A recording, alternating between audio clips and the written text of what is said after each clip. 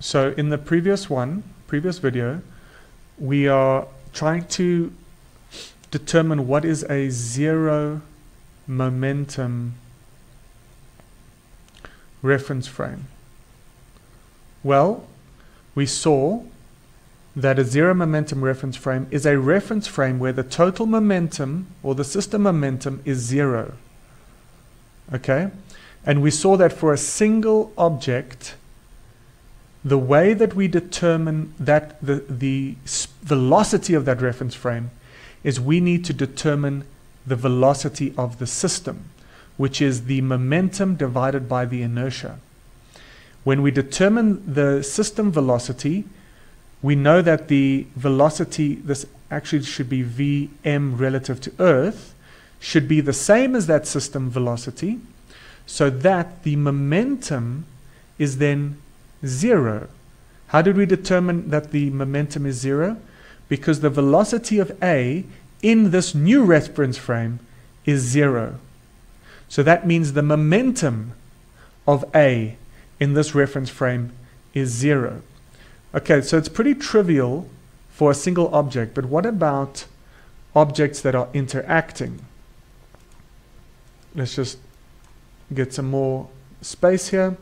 Objects that are interacting, if you've got two objects here, let's call it A and B, and they're going at each other or whatever, but the point is they are in a system and they collide. Um, if we are trying to determine the zero momentum reference frame for this system with multiple particles, we have to try to do exactly the same thing. We have to try to find the velocity of the system. Now, what do we mean by the velocity of the system? You, you say to me, what, but A has a certain velocity, B has a certain velocity. What is this velocity of the system? Okay? So we will get to this a bit later. I think it's section 6.8. But what you need to just see now is that for any single object or multiple objects inside our system, there is something called a center of mass.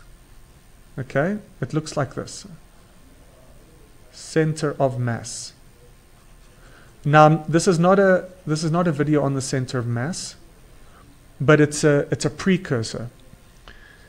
Um, even though objects A and B are moving at different velocities,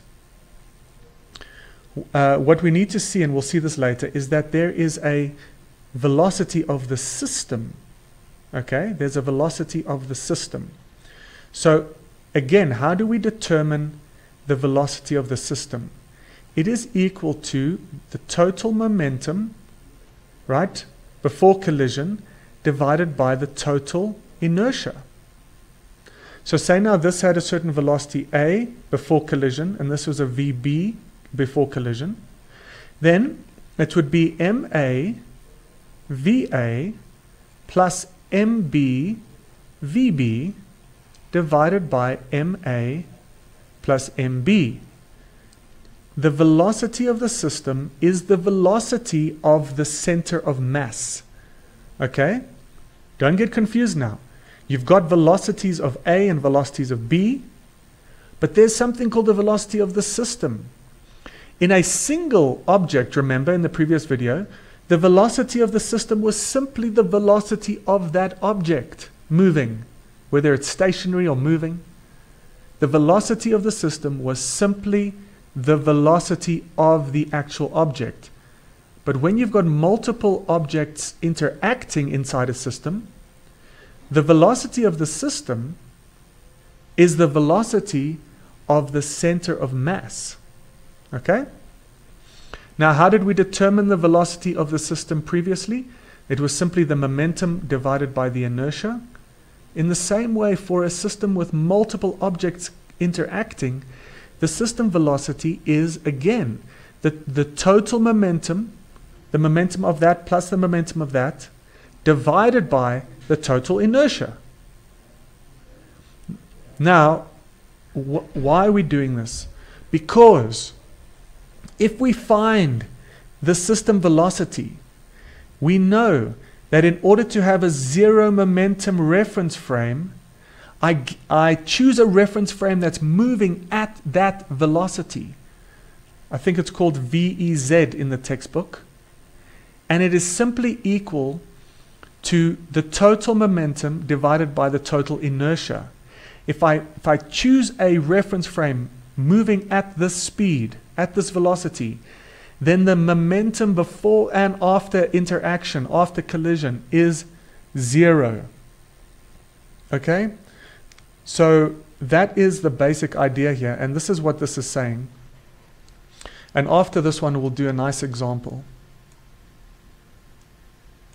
The velocity VEZ of a system's zero momentum reference frame relative to Earth is equal to the momentum of the system, MAVA plus MBVB, uh, in the Earth reference frame divided by the inertia of the system, MA plus MB. Okay?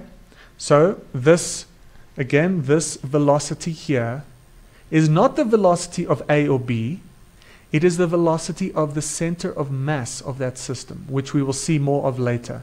And if we choose a reference frame going at that velocity, then the nice property is that the momentum before and after collision, when I say the momentum, I mean the, the system momentum, not the momentum of A or the momentum of B, but the total momentum of the system before and after is equal to zero.